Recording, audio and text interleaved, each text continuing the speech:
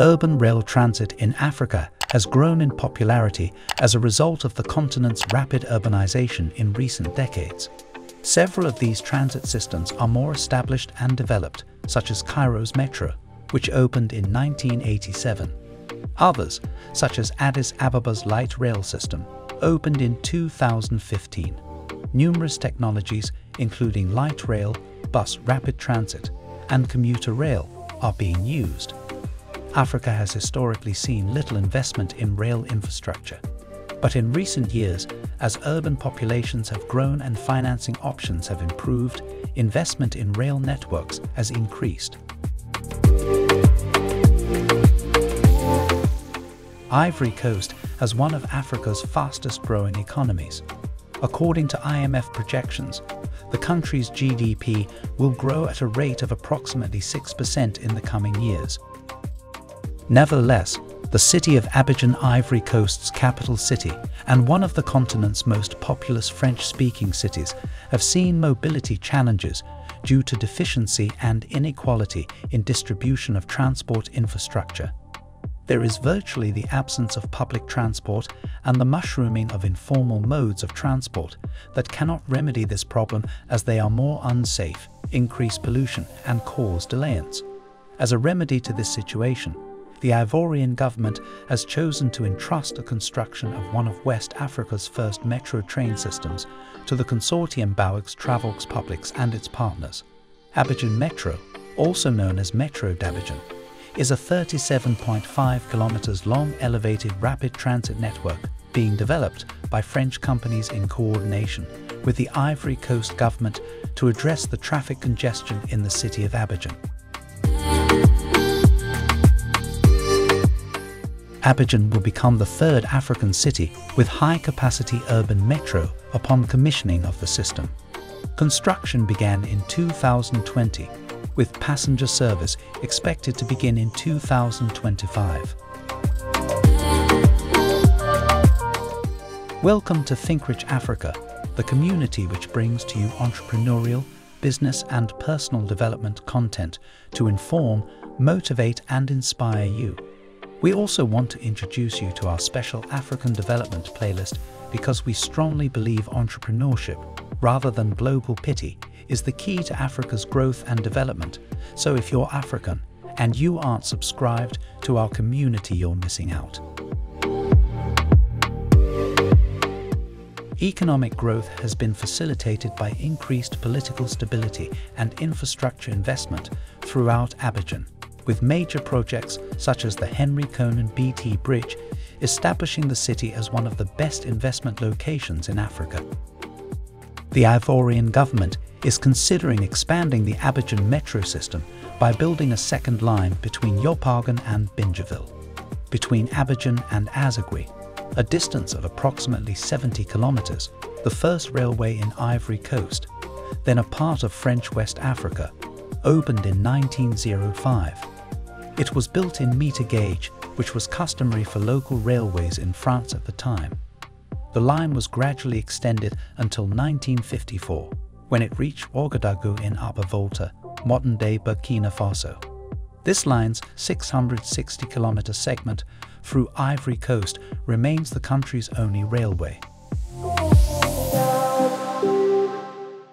Ivory Coast initially signed a build, operate and transfer agreement with a French-South Korean consortium for the construction of Line 2 of the Abidjan Metro. Bouygues, Keolis, Hyundai Rotem, and Dongsan Engineering were all members of the collaboration. The project was initially planned as a single line with 13 stations, but has since been expanded to a single north-south line with 20 stations, entirely financed by France and built by three French groups, Bouygues, via its subsidiaries Bouygues Travaux Publics and Colas Rail, Alstom and Keolis, following the withdrawal of the South Korean partners in October 2017. In November 2017, the government resumed work on the metro.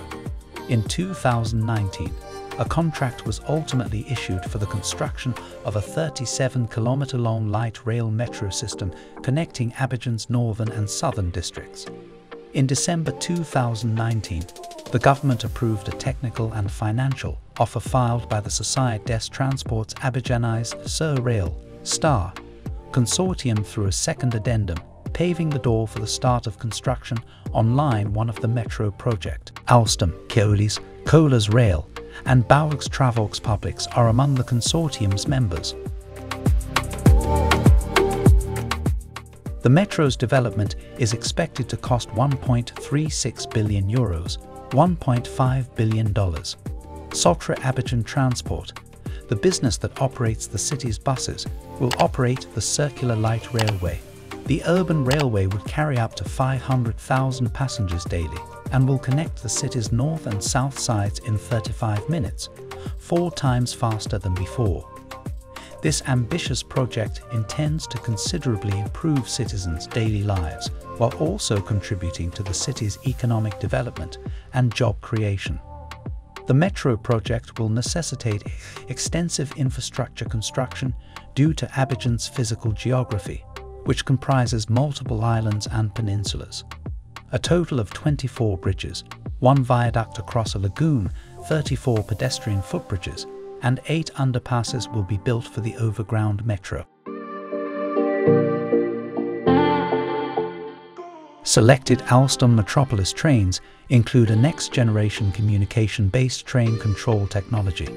It is stated that this technology will help increase train reliability and safety.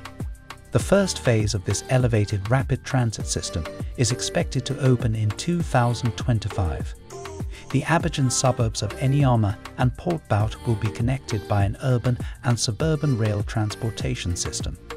It will connect the Ivory Coast's economic capital to the plateau's administrative and economic hub, travelling through the districts of Abobo, Adjamé, Treichville and Port-Bouët. The line will come to a close with a connection between Port-Bouët and the Felix Houphouët-Boigny International Airport in the city's south. The drive from Anyama Center to Arosati will take 50 minutes in total. Two 1,435 meters standard gauge railway lines will be part of Metro Line 1. Electric traction, 21 rail and road bridges, landscaping and architectural systems, and noise pollution mitigation will all be included. At the SAG Triangle, a 22 hectare railway depot will be erected. For approximately 32.5 kilometers, the route will share the same rights of way as the Abidjan-Ouagadougou railway line. Between the towns of Plateau and Treichville, a new rail bridge will be built in parallel to the Felix Houphouët-Boigny Bridge. Road and public transportation networks such as Sotra STL and Citrans Aqua lines will be connected to the transit system. Alstom will provide the railway with 20 train sets of Metropolis trains, each with five carriages. The trains will be equipped with an innovative communication-based train control technology, which would increase train reliability and safety. Both driver and driverless modes are available on the Metropolis trains. The design encourages personalization and enhances the passenger experience full electrical brake systems and LED lighting will be included in the lightweight trains with increased power conversion efficiency, consuming less energy. Predictive maintenance aids in lowering maintenance costs and increasing train availability. The gangways and broad doors will allow for easy movement between rows of seats, while enormous windows and glass doors will provide a view of the outside passengers with limited mobility will be able to move about more easily on the train. Dynamic route maps, video surveillance, lighting solutions, onboard Wi-Fi, video displays, USB connections, and real-time passenger information are all examples of passenger-friendly modern technologies. Metropolis is designed to go at 90 km per hour with an operational speed of 80 km per hour. Alstom will also provide depot equipment, system integration, telecommunications, and signalling in addition to the Metropolis train sets. Keolis will be in charge of Line 1's maintenance and operation. The network diversion works are being carried out by the Ivorian Society for the completion of the Abidjan Metro Sigma in preparation for the metro project's construction. Colas Rail will be in charge of the metro line's electrification, as well as the track, ticketing, audio and visual systems.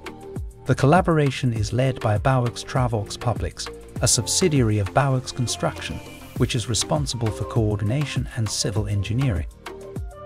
Although the project has been welcomed by many as a means to alleviate traffic congestion in the Ivorian capital, other critics believe that the project cost is excessive and that a cheaper solution, such as the Dar es Salaam bus system, with a daily capacity of 400,000 people and an estimated cost of $150 million, would have been preferable.